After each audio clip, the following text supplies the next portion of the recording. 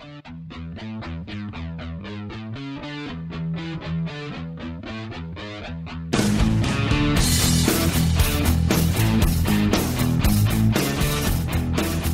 Good morning, good evening, wherever you are, and welcome to episode 69. That's right, 69 of the Cloudcast. We are, as always, coming to you live from our massive Cloudcast studios here in Raleigh, North Carolina. And tonight we are going to do kind of a follow up on what was probably one of our most popular podcasts of the year. Uh, so we brought back two of the three, well, actually, three of the four of us will be back from the Fantasy Cloud podcast. Uh, Aaron Delp, how are you doing tonight, man? I'm doing great, man. Thanks and uh, our friend from the West Coast, Colin McNamara. How are you, Colin? I'm doing awesome. How you guys doing? Good, good, good. So, uh, our last partner in crime, Nick Weaver, was unfortunately unable to, to make it tonight. He's actually still working hard for the year. Um, so, we're going to miss Nick. Uh, but what we thought we'd do is we're going to go through a couple of things. Um, so, it's, it's interesting. When we, when we did this show, uh, I don't know, about three months ago, maybe. Um, we thought it was going to be a complete joke. We were just kind of joking we around. We even debated we, whether or not we were even going to publish it. We we were like, we're going to hit record and we'll see how it goes, and then maybe we'll publish it. yeah, because it was one of those like sort of it was one of those sort of stupid ideas we had like at some trade show, and we thought, oh, we'll try it. And Nick and Colin were available, and um, it ended up, I think, being maybe the second most popular show we had, um, and I think part of it was just because some of the vendors and stuff were interested in, in their own stuff. But uh, so it, it was interesting to us. We were joking around after the show that none of us picked uh, any of the companies that we were associated with. so that should give everybody a, a yes. vote of confidence. Um, so what we thought we'd do is we thought we'd uh, we'd do a quick review of uh, how that went. And then um, we're going to do something a little bit different, um, and uh, it, it's something I've kind of wanted to do. I don't know if the rest of the guys want to do it, but that's fine. Um, that's what we're going to do. Uh, I've got an idea, and I've been kicking it around for a while in my head. I've told a few people, um, and I don't know how I would go about doing it. So I'm going to kind of rally some community support around this idea and see if anybody likes it and uh, see where it goes. So, anyways, you're officially open sourcing your idea tonight. Yeah, I'm open sourcing. Well, because you guys are, are both now dirty software, free software pirate hackers. So I figure that's the that's the the new sort of mantra of the show. We'll just give everything away. We give the show away for free, so we'll just give our ideas away too. So, all right. Um, so why don't we do this, uh, Colin? Why don't you go first, since you went first in the in the fantasy draft, and give us your uh, your take on your, your draft now, looking at it uh, uh three months into the into the thing. So um, three months into it, uh, I'd say I am only uh, not totally stupid. Um, only partially. So let me see. ServiceNow continued strength. Nothing big and shiny with them. I really thought Enstratus would, would get bought. I, I really would. Um, I, I, just saw actually um, uh, this morning. I was looking at uh, I'm blanking on the name. Uh, Cloud Sherpas got forty million dollars as a cloud brokerage. Um, I, I, still think no one on earth actually gets what Enstratus does. Um, let me see. Mirantis, I'd say a good call. Um, they have hired an immense number of people since then.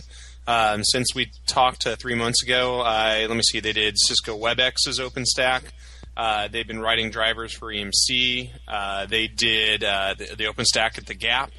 Um, they've been really uh, kind of uh, really growing very strong. So that's that's a really great call. Chef, obviously, um, uh, you know, systems automation, backends for DevOps. Both Chef and Puppet can't go wrong there. Uh, Synnex, I would say that was a complete failure. Open Compute, while um, I say emerging, is still not taken off in the past three months. Nexenta, um, I don't know if you guys have been seeing it. But there's some white papers published uh, for their Cisco VDI appliance. Say growing very strong with their um, uh, integrations to OpenStack. Joyent, I think, has proved that uh, you shouldn't build clouds on Open Solaris. So I was wrong there. Um, nice. absolutely shouldn't. And yeah, no, no offense to Brennan and dtrace, but dtrace is not a reason to build a cloud platform. Um, let me see. Uh, Casa, you know, uh, actually, I think Casa got acquired um, or at least the teams did. So, oh, they did. Uh, I didn't see that. Uh, it's the backends. It's the backend of LifeLock actually oh, now. Okay. Oh, okay. Yeah, yeah. So um, and then uh, NTT um, has actually been obviously they're not going to get acquired, but uh, they've actually had some significant cloud wins. Interesting how they're they're pitting. Uh, was it Treb? Uh, I forget Treb's last name. OpSource um, acquisition. Their kind of enterprise cloudy stuff against the uh, NTT ISIL um, OpenStack Cloud. So they're actually competing against themselves and growing very strong. Um, so I'd, I'd say uh, a few complete misses on there. Um, So you but uh, I'd say the like a- top ones to benefit out of there are uh, Mirantis Chef, uh, uh, Nexenta, and then uh, AT&T. I'd say the first uh, wireline service provider who to start to get a clue around uh, cloud platforms. Okay, I, I think you're right. I, I still think uh, I think you're right. I think folks don't really know who Enstratus is or what they do, uh, at least not clearly. Um, but I think they're still probably on a lot of people's radar in terms of potentially an acquisition. And I, like, I wouldn't be surprised if Mirantis gets picked up uh, by like somebody like Cisco or something who who says, look, if we're if we're now in in building our own sort of variation on uh, on OpenStack or you know building their own um, distribution of it. Um, I think some of those guys, whether it's a Mirantis or or uh, was it CloudStack, not CloudStack, uh, um, Randy Bias's company, the guys who know how to do OpenStack, I suspect they'll get picked up here in uh, 2013 as folks look to build their engineering organizations. Well, I think even more than that, that uh, the value of a board seat has shot up exponentially as as, uh, as the uh, foundation has really gone through the governance challenges. Um, you know, the, the board seat members they they have twenty or what, sixteen guaranteed seats. Yeah. And- You've got a very good point there. Absolutely. Yeah, and uh, you know, the OpenStack is, I believe, becoming the ITF for cloud, you might say, and for the three major vendors, Dell, HP, and Cisco. Um, that are the major contributors and you know, uh, or not major contributors, but the major hardware players in the in the foundation right now. Um, having control of the direction of OpenStack is going to become increasingly important and valuable. All right. Um, what should we do with Nick's? Should we should we just kind of quickly go through Nick's? Uh, or yeah, should we you, just you, you'd it? think we would have planned this out ahead of time, but yeah. Well, it's like it's like the way we did the show before. No Why don't- planning Why whatsoever. don't you go through it, Brian? Um, okay. Um, so Cloudability uh, went into GA, so good for those guys. Uh, Matt and uh, and crew went from uh, beta into GA. Um, the other thing I've noticed about the Cloudability guys, and I, I use their service for some of the Glacier stuff I do, um, I may have broken their algorithms, or I'm going to get a ridiculously large Glacier bill because of the the emails they send me every couple of days. Um, so I'll, I'll get into that later on about how uh, Glacier works in terms of uh, billing and stuff. But they're doing well. So we, we looked at uh, Cloudability. Cloudability is going good. Uh, went from beta to GA. Uh, AppFog as a PaaS has announced they're going from uh, a public-only offering to including a private offering. So they're they're expanding. Um, Parse, I have no idea. Uh, Cloud Passage, um, I think you know from talking to Rand, I think they continue to keep adding functionality and, and are doing reasonably well. Although, quite honestly, I don't know how the SaaS guys necessarily measure themselves. So, um, you know, and until they go public, it's sort of hard to know unless they're just, I guess, maybe measuring by customers. Uh, AppDirect, I have no idea. Uh, InkTank, um, Ed Sai said they're doing well. They hired Ed, although uh, I saw Gina left the company. Oh, that was really fast. So um, Ed says they're doing well. Uh, they've made some announcements recently. I know they signed up uh, do some stuff with Dell, so that was cool. Um, Oh, so they- so Gina left since like the last podcast? yeah, yeah. so I we're had no idea. yeah we're like the kiss of death. Yeah. I've seen some of Uh-oh. the sales So teams shift shift around too. The uh, a lot of the DDN guys are going over there now. oh, From, okay. from Data Direct are starting to show up there. At InkTank. Yeah. Okay. We got to make sure we're not the curse, man. You don't want to be like, oh no, you get on the podcast and That's right. you're off. Yeah, Colin. Hope, Colin, hopefully get a job next year. Uh, I hope and so. then Greenplum and BOSH are now going to be part of the Pivotal initiative, or Right. Pi- Pivotal, what, uh, uh, whatever the PI thing is that Paul Maritz is going to run for VMware and EMC. So, um, so I think you know Nick did okay. Um, no, uh, we don't know about Parse and AppDirect, but no complete failures, I guess. Yeah. Uh, well, and, and so I'll just uh, throw this out to you guys. What, what do you guys think about the whole pivotal thing? I think it's freaking brilliant. I mean, I think it was the right thing to do. I really do.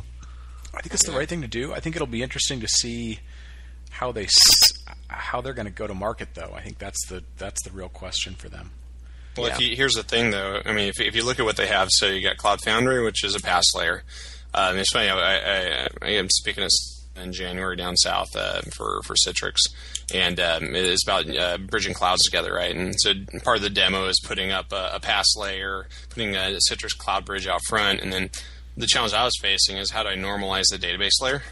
Well, with, with Gemfire and some of the other stuff that's coming out in conjunction with, with Cloud Foundry, you could basically put a, a Uber PaaS that uh, abstracts the uh, the data layers from the application and makes it so basically have an eventually consistent multi-cloud database layer. Um, once you have that, you not only have a, um, a tool for ensuring pure cloud mobility of your applications, but uh, with the with, with the Greenplum and uh, Project R stuff inside of there, you have just like when when EMC bought VMware, they created a consumption engine for their hardware. Right. Right. Yeah. So now you have a second consumption engine. Yep. Yeah. So, do you think? Uh, so, the, the one thing I, I would, uh, I'm trying to figure out. I mean, besides the, if you're a uh, Cloud Foundry, you know, PaaS service provider today, you know, what, what's your thinking? We'll have to get one of those guys on, although I'm sure they won't tell us uh, at this point. um, is is the is the Gemfire stuff the right sort of back end database model for this? Because everything I always see those guys talking about is all sort of NoSQL. It's it's Cassandra. It's uh, you know it's Riak. It's Mongo. Um, you know I've never heard James Watters talk about the Gemfire stuff in conjunction with it. Um, have you got any you- sense of? You harvest the code though. So If you have some sort of database shim, you hook it into whatever's the appropriate, or maybe you just go and build something or hook into something cool. Yeah. You know? Right. Right. All right. Well, cool. Yeah, that'll be an interesting one to see what happens. I, I doubt they're going to announce a whole lot between now and probably uh, end of first quarter. If anything, they probably need to get their act together. It's a lot of people to bring together at one time for like 1,400 people or something. All right, Aaron, you want to give yourself a, uh, a grade? Yeah, so so I think I'm kind of like everyone else in the fact that uh, it didn't suck too bad. Um, so so my first one was Apprenda. Um, they announced their their kind of hybrid cloud solution uh, here recently, and really got a lot of good press around it. I hadn't had a chance to really dig into it too too in depth. I don't know if either of you have. Um, and then next one was Apigee. Apigee's still chugging along like they always are. Um, and then OpenShift. OpenShift, I don't know. I honestly, in hindsight, I probably just should have taken Cloud Foundry instead of OpenShift um, or some other platform. But at the end of the day, I, I just I don't really hear much about them. I really don't. They just seem to have zero buzz around them. Yeah, they they just bought a company today. Red Hat just announced good numbers today, and they just announced they bought ManageIQ. So, you know, so they yep. bought another. You know, they they keep buying pieces of the stack, um, but uh, you know, you just don't hear tons and tons of people sort of raving about it. And I don't know if it's just because you know they're still working to put it together, or what that all means. Yep. Um, next one I had was Bromium. That was my uh, you know my seed money choice from from way back. Uh, Cloudscaling again. I, I'm surprised. I, I will be very surprised if they don't get bought in some way, shape, or form um, in the next year. They're kind of like Mirantis for me. Um, Crowbar, Crowbar is just still still Crowbar. It's chugging along, doing its thing. Um, and the same with Puppet, which is my ne- my next pick. And then last one was RPath. RPath was was acquired by by SAS, and we, we Brian and I talked about it. You know, Raleigh company buying a Raleigh company. Um, that was very interesting to us, um, and it really makes me kind of wonder what what SAS is is going to be doing with RPath long term. Yeah, I don't, I don't. It, it was a sort of an interesting one. I ran into the guys at one of the DevOps meetings, and I was like, "Hey, I heard you got bought by SAS," and he was like, had that look on his face, like it's not public yet. Don't tell anybody. um, but I, I think It's like, well, you should have checked Twitter then. you know there was there was a thing that was kind of in the local papers about SAS that they were you know they were building out their own data center. They were planning to you know build some uh, on-demand services that they didn't necessarily do today. And this was I don't know seven eight months ago. So this may be part of their you know plan to go you know into into on-demand services, just like you know everybody else is doing SAP and Oracle and, and everybody they compete against. So. Um, you know, it was a small team. I think they bought about 15 guys or something like that. It's a not a huge engineering team. So, Yeah, and you, you you never know with so so Goodnight is the the founder and you know owner of SAS and all of that, and you just you never know what he's going to do on that property because I mean you've got the the SAS campus, then you have the Umstead, which is the the huge restaurant, bed and breakfast, and all this other. s- He's got very crazy tastes, and he just kind of builds and buys everything, and he owns so much land here in Raleigh and Cary, he just does whatever he wants. yeah, yeah. He's up on his hill with his giant mansion looking down. his hill. he literally does. That's absolutely right.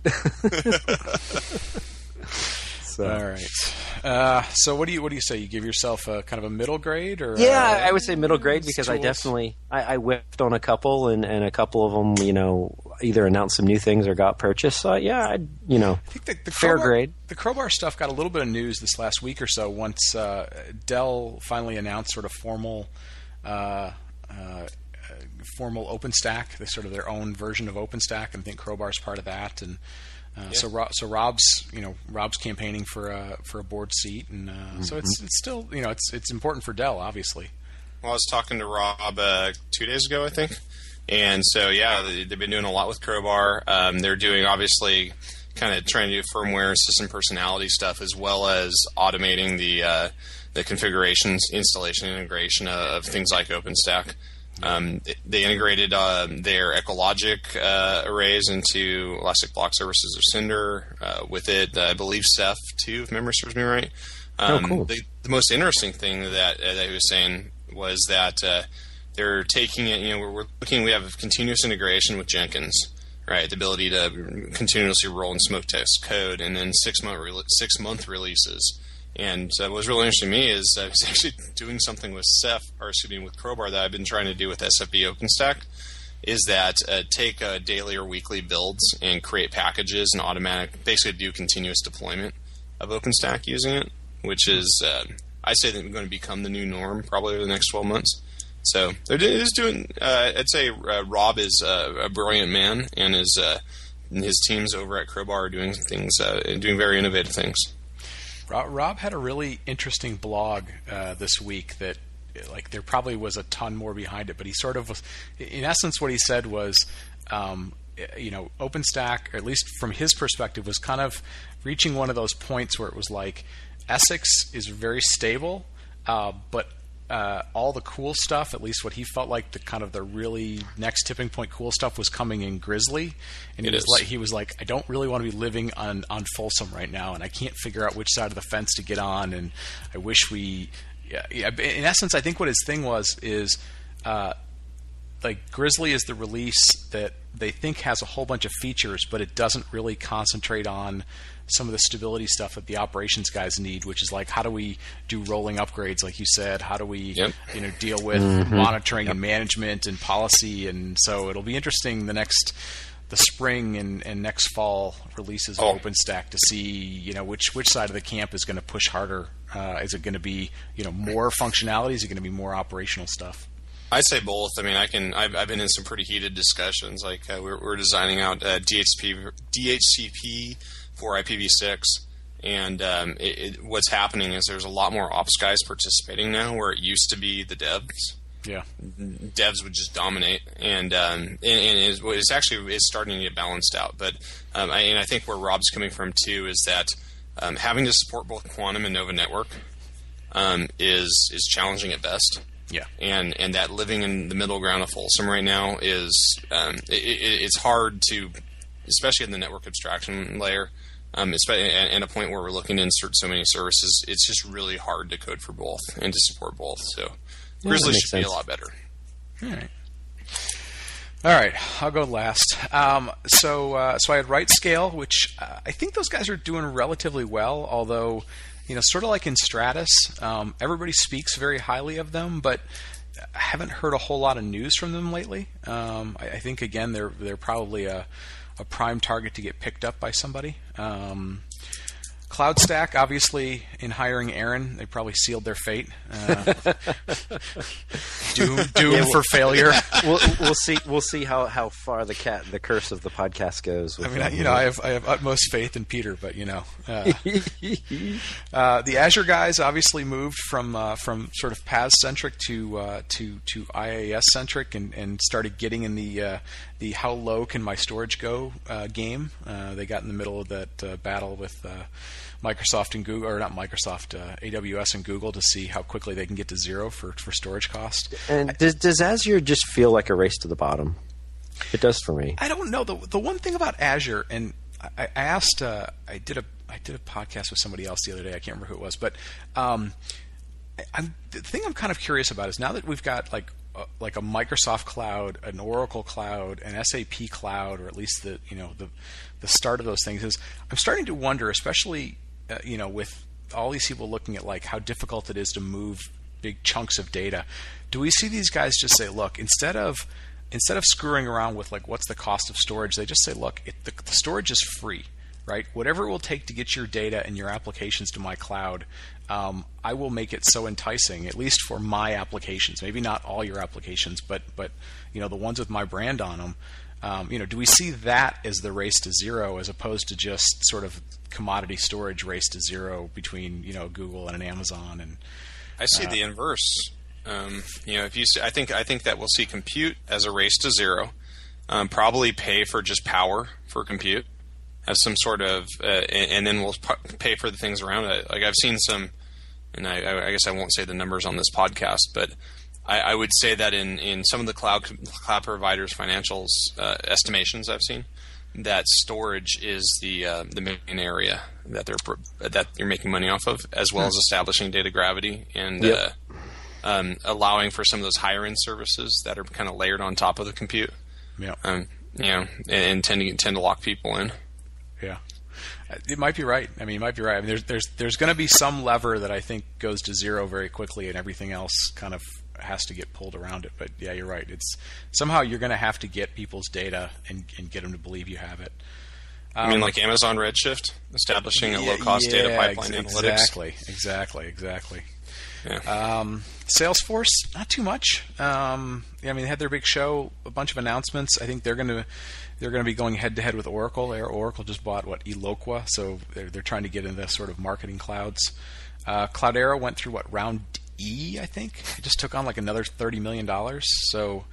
Um, I don't know exactly what that means from a VC perspective. I don't think it's a great thing that companies get to round E and nobody's bought them or they've gone IPO, but uh, um, you know they still have the, the majority of the smart Hadoop guys. Uh, Big Switch Networks announced a product finally, um, and they, they now seem to be locked in this new battle with uh, with Nicira over whether or not um, OpenFlow and software-defined networking should involve hardware or not involve hardware. They seem to be in the camp of it should involve hardware. Uh, Nicira seems to be in the camp of screw hardware, screw hmm. everybody who does hardware. Um, let's see, Basho's Basho. Um, they they continue to to keep doing cool stuff with distributed uh, stuff, but I, I, get the sense they're people are still trying to figure out what they're doing. Um, I know Adron Hall, who's been a guest on the show, went over to Basho, so we'll maybe have to get him back on the show to come talk to us. And then Cloud Foundry obviously is going to be part of uh, the PI initiative. So um, I give myself an okay grade. Um, you know, there are more mainline names in there than than maybe some other folks, so it's okay. So what do you think about you know um, that you have Cloudera up on there? What about Hortonworks and kind of entering in that space and with their uh, oh crap, I'm blanking on their name, their, their open source participation. The same thing of Scalr in the in the context of uh, RightScale, having a, a, very heavy open source uh, option.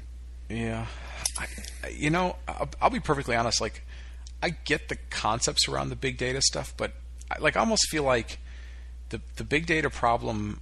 I don't know that it's so much like who's differentiated. I just feel like there's like there's so few people that know what they're doing in this space um, that like nobody's really really kind of pulled themselves ahead um, I mean, I think the Horton guys obviously because they've got a ton of experience from Yahoo, and the Cloudera guys because they've got the same sort of experience. But I don't think they have massive. I don't think they have enough numbers that if somebody were to acquire them, if a IBM acquired them or Oracle acquired them or HP acquired them, that you'd be like, oh my God, they're the the Hadoop guys because it's still about building applications then on top of that, and that's a small, small crowd right? I mean, that's yeah. probably a, that's probably as small a crowd as the guys who know how to deal with OpenStack, yeah. right? I a little bit more esoteric, probably. Realistically, I, I don't know. Um, so, anyways, okay. Well, the draft was fun. I think we'll uh, maybe maybe we'll do this again next year if we can uh, do it. Maybe we'll expand it or.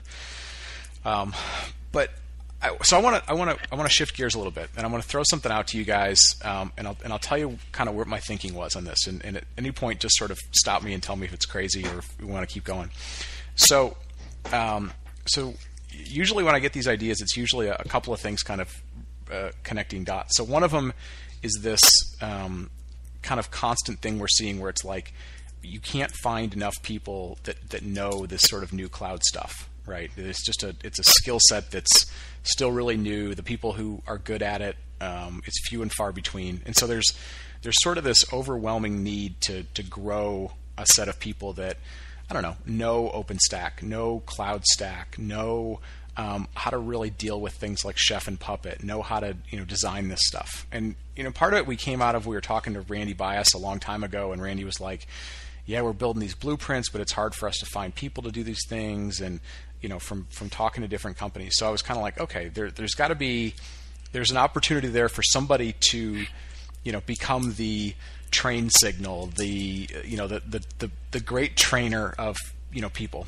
And, and the second piece of it was I, I kept seeing all you guys who are who are home lab people going, oh, I've got to buy new gear, and I'm on the road, and I'm, I can not get to my gear, or my gear's down, or I want to, you know, it, something's screwed up, and this, that, and the other. And I was like, we have all these sort of on-demand, we have all these on-demand environments these days, whether it's something from AWS or from Rackspace or from whoever.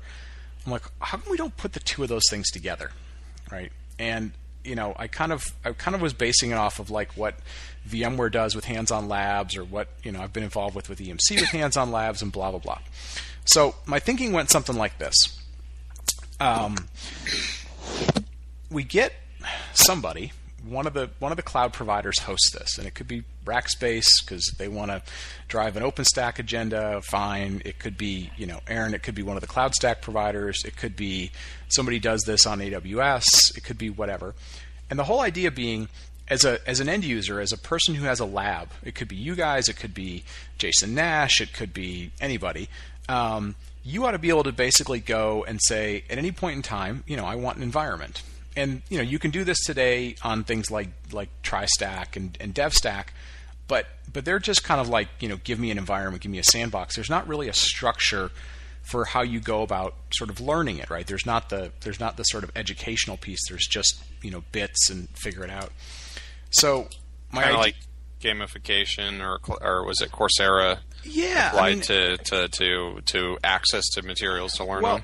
I mean, I'll, I mean, I'll give you a perfect example. And Aaron and I kicked around this thing, um, like when he was talking about you know taking this this role over to OpenStack. It was like I need to get an environment up and running, and I need to learn this stuff fairly quickly. And yeah, I can play around with it, but you know the amount of time sometimes it takes to just kind of get it up and running, or to kind of go, I want to learn these five or six basic things first. Like once I learn that stuff, then I can go play with some things. And you know, and the thing are you there, it, Brian? You went away. oh. Am I still here? Okay, at least I'm, I'm not the only. One. I thought my headset was dying. Okay, you guys hear me? Try it again. Okay, can you hear me? Yes. Okay. Yes. All right. Um, so anyway, so you know, and as I was talking to some other people, they were like, um, you know, there's stuff to learn. Obviously, there's new things to learn, but they were like, you know, I don't have the time to either set it up or I don't know how often I would use it. I'd love to just be able to sort of push a button and and use it when I want to use it. If I'm going to spend a couple of hours playing around with it, uh, or you know, here and there, and then you know, turn it off. Right. So I kind of got to thinking, and I and I think this is possible. Um, and I think there's actually a, a way for somebody, if they spent some time building it, to make money off it. So it would go something like this Your user experience would be uh, you log in, and you're going to get you can you basically are going to get uh, an on-demand environment that you can pick. You can pick an OpenStack environment, a CloudStack environment, a you know potentially a, a, VMware environment if they want to offer something like that. It could be anybody else's stuff. Um, eucalyptus. Yeah. Eucalyptus. Yeah, exactly. Um, and then from that you can you'll basically there'd be a there'd be a set of um, there'd be a set of sort of like training modules or sort of like yeah like courseware kind of things that you could walk through and it would sort of give you step by step if you're looking for some learning stuff there's an opportunity there to build a marketplace for the companies like uh, cloudability and um, cloud passage and all these guys that uh, you know offer these sort of add-ons to this function. It could be RightScale, it could be Enstratus, it could be whatever. Um, so you could go, you could pick up some of their stuff and figure out how it works in your environment. And the I think where there's an opportunity to make money is a couple of different places. So um, obviously, to start spinning up these environments would typically would cost you some money. It would cost you some sort of whatever uh, per hour or per gig or bandwidth cost or whatever. And you could either pay for it um, you could either pay for it sort of upfront, uh, pay some sort of fee, say, 250 a year or whatever. We'd figure out exactly what it would cost. Plus, you may have some marginal cost if you're a real heavy user. Um, but there's an option there to where you say, okay, um, I could I could get the free version, and the free version includes every time I log on, I get a two minute, five minute video roll from one of the sponsor companies. You know, and just from all the companies that we've talked to, um, I think those guys would probably go, "Hey, we'll put up, you know, five hundred bucks, five thousand bucks, ten thousand dollars, whatever it is, in order to sort of have access to people that are trying to learn this stuff." So imagine if you're Enstratus, who people aren't sure who they are, they're not sure what to do with them. Um, every time one of these, you know, guys who is a the expert who's trying to learn this stuff, who's a sysadmin who's trying to learn this stuff, they get a five minute roll. They get a two minute roll of something that goes, "Hey, this is this is who we are. This is where we're going to fit into your learning environment, and this is why we might be great once you go once you go live with this thing." Or even um, past that, frankly, you know, I'd look, I'd use that for recruiting. Well, you could use if someone's for, out there self learning after hours, expanding their knowledge, right? You know, that's yeah, so especially if it's almost like uh, Code Year or Codecademy, where people can create their own courseware. Right. Well, Heck, that was those so are the people I bring in for interviews. One part right. of my company. Right. So that's the so that's sort of the next piece of it. So um, so as a user, you can go on. You'd have different you know levels of uh, levels of learning that you could do, levels of payment structure that you would potentially have. Um, you know, you work on it for a couple of hours. You go, great. I don't want to keep paying the per hour thing. You we we put a you know real simple save button. It does a snapshot, basically saves off your environment. Um, you come back to it when you want to come back to it, and then from a from a you know, from a company perspective, so let's say you're um, somebody who, who offers a cloud service or you offer a cool cloud add-on or something, you now have a, a marketplace where you can you can build some modules that you want to do that people can either buy or you can you know you can uh, again put them into the free version, put them into the you know people can pay for them version. Um, you can have people you know build it from a community perspective. If you get 10, 10 steps into the OpenStack one, you can you can uh, you know kind of be ranked as as higher up. You're a ninja for that. You can be available to help other people online as they go through some of these things.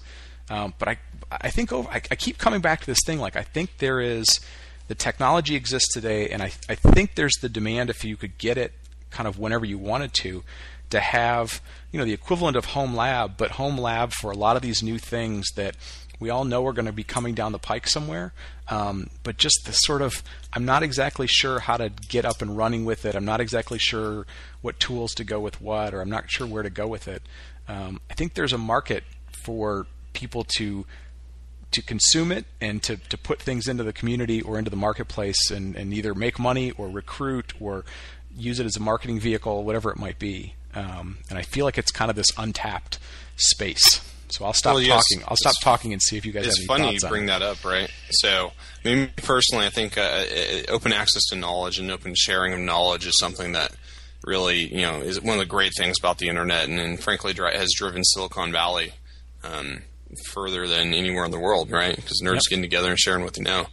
Um, I, I I love, you know, I'd love to understand how Codecademy makes money, mm-hmm. right?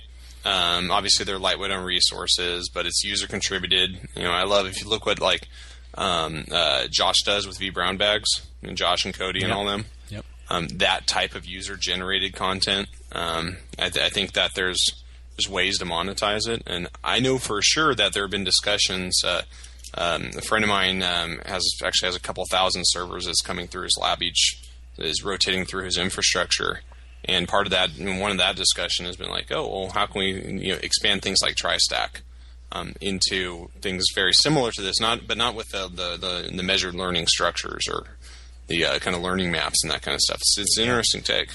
Yeah. So. Yeah, and it really, in my mind too, it's it. You know, we've all talked about home labs, or you know, Colin and I, like the lab we had back at E Plus once upon a time. Um, that it, the biggest problem with, with home labs or, or like you know a, a, lot of vendor labs is the gear gets old quick. Um, yeah. and they're you know decently expensive to maintain if you're doing it after hours on your budget. Um, and and yeah the whole the whole idea of just turning that into an opex versus a capex um, but for you know you personally for your education and your career development I, I think that's an incredible idea yeah. Well, I, I was kind of before the podcast, I was kind of sketching out where my lab's been over the years, right? So started with the most powerful server in Fresno, right? And that was I think three thousand or four thousand dollars. As in the mid '90s. Then it became 15 routers from Cisco, including a MAU, some token ring. Then it was a crate full of IP phones. It was voice gateways. It's all really about it's about four to five thousand dollars every three years, right? And then had voice gateways, UC five hundred, my WLCs, APs. Then it can then it started collapsing down into software. You know, I had one server that could when I was doing the CCD stuff. Um, Forty routers were virtually running on top of it on GNS three and then you know it's evolved to where it is now on the storage stuff. You know, at, our last employer, I had uh, what uh, four. You know, a couple million dollars worth of stuff in, in the in the Silicon Valley lab. Um, we are doing some big you know big internet stuff, but um, now it's down to I think three or four um, shuttle PCs, Core i7s with 32 gigs of RAM and uh, 24 terabytes down, and it's rather cheap. I mean, it's four thousand dollars, and everything's in software there. Yep. Um, and a lot of the complexity, and, and, frankly, there's a lot of places that have a lot cheaper access to technology. One of the challenges I've been thinking of is like, how do I give access to my lab and still, frankly, I don't want to build the framework to be to delegate access and control people and make it so they don't do stupid stuff with my bandwidth. Um, but maybe that's the whole side of it too. How do those of us that have access to equipment, either you know, I got a multi-million dollar lab at my current work that my engineers use, how do maybe we make portion of that publicly available and um, use that as almost a sponsorship? Well, and that's the thing. I mean, you you know, you watch, um, you know, just just as an example, like you know, we, we sat and watched. Aaron was out at the AWS event. I was sitting there watching the keynote, and you watch some of the announcements that come out. I mean, um, you know, so you, you were talking about a whole bunch of Cisco gear, which obviously is you know expensive stuff from from a procurement perspective. It's also you know has a physical aspect to it. But I mean, more and more you know Citrix's some of Citrix's network gear, some of Cisco's network gear, uh, other vendors type of you know stuff that would traditionally you'd think of as being a, a, big piece of hardware is now a VSA or it's a you know it's a it's a virtual appliance or it's some sort of software form factor.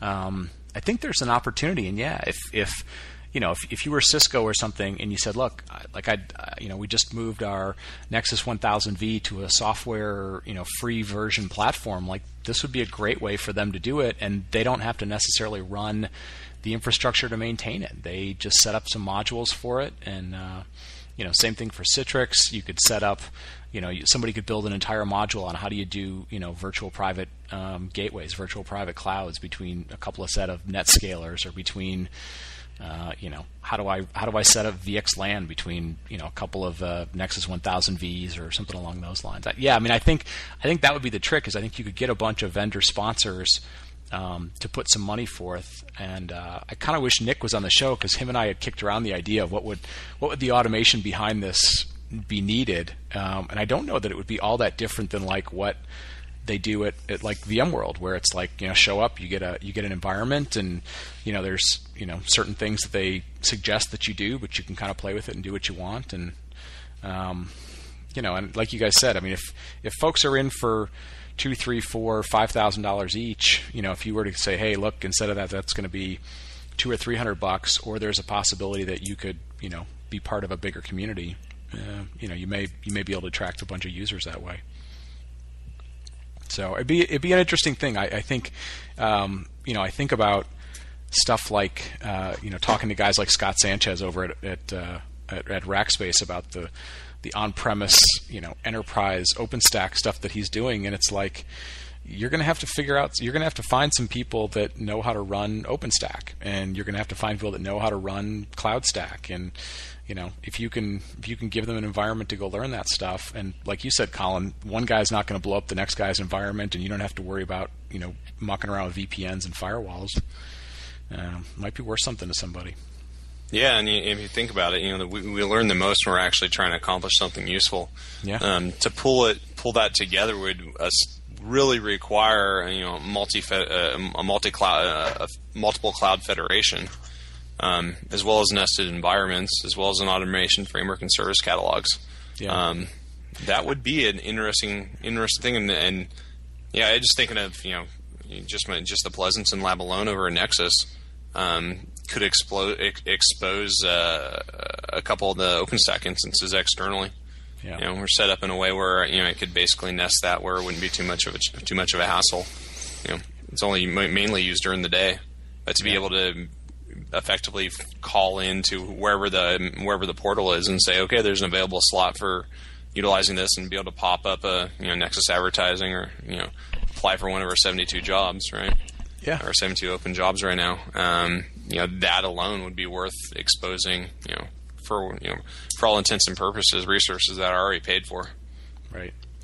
Yeah, I know at one point Nick and I had kicked around the idea when uh, uh, Adrian from, from Netflix they they open sourced basically kind of their provisioning tool. Now it was you know AWS specific, but it was like hmm, and I forget what the name of it was. Oh, it's to go look it- Asgard. Yeah, Oh, yeah. yeah, yeah. Yeah, He was yeah, like- yeah, he that's was- he was- pretty awesome. when that thing when Built-in that thing cloud got formations and, and nested access controls. Yeah, when that thing got open sourced, it was like that was another one of those sort of light bulb moments. I was like, I wonder if we could use that as sort of the framework. And yeah, you're right. I mean, over time, it probably would need to be a multi-cloud type of thing. But even if it just got started on one cloud, um, I mean, I think there's enough vendors, at least now, that are starting to make some of their stuff available. Um, and you know, you're not running it in production, so I mean, you could get it running uh, on one cloud and another cloud, and um, you know, I mean, the Cloud Foundry guys probably are going to be looking for folks who, you know, I mean, that's a small that's a small crowd of people. Um, so, anyways, that's my that's my rant for the evening. Um, hopefully, maybe somebody who who listens to the show who has uh, more coding skills or more automation skills, or you know, finds it somewhat interesting will give us some feedback. We'd love to hear it from people. Um, and if you tell us, you know, it sucks and you, you know, you, don't touch my three thousand dollar lab, that's fine too. Uh, I know people like their own toys as well. So, um, anyways, well, listen.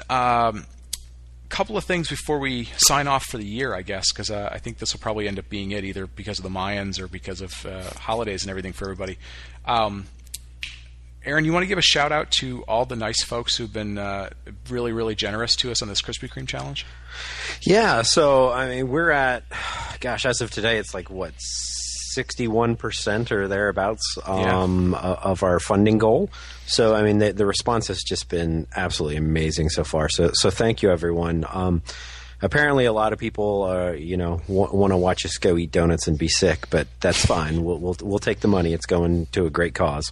Yep. Um, and and just a reminder to everyone, uh, we are matching um, the first thou- up to the first thousand dollars, and um, as of right now, um, uh, what as of oh, I guess maybe earlier this week actually, we are in first place of anyone raising money for the the race. So uh, really cool little distinction for right now. I don't know that we'll be able to maintain that, but it's cool to say we're number one for right now.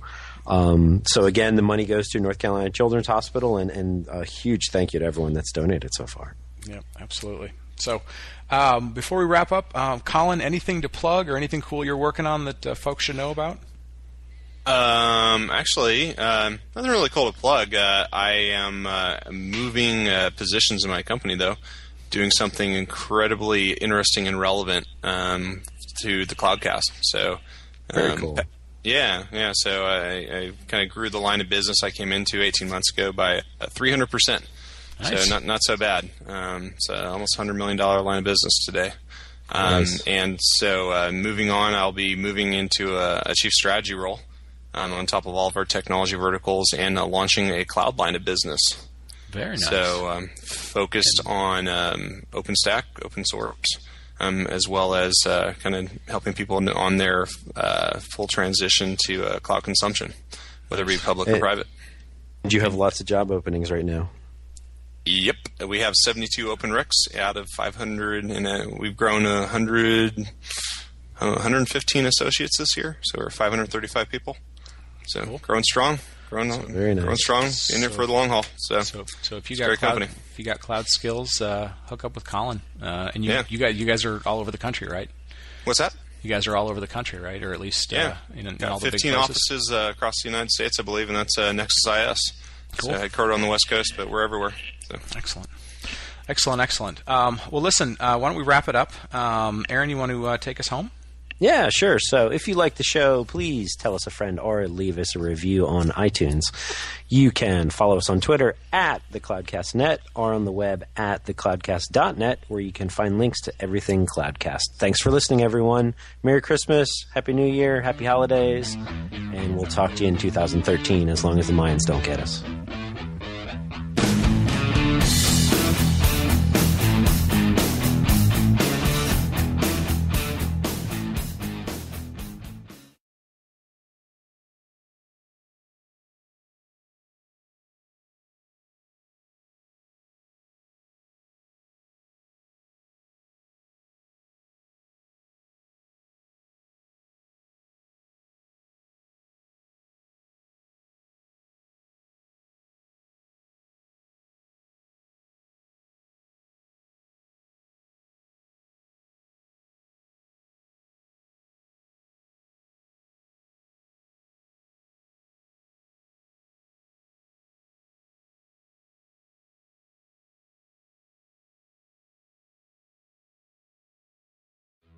Bye.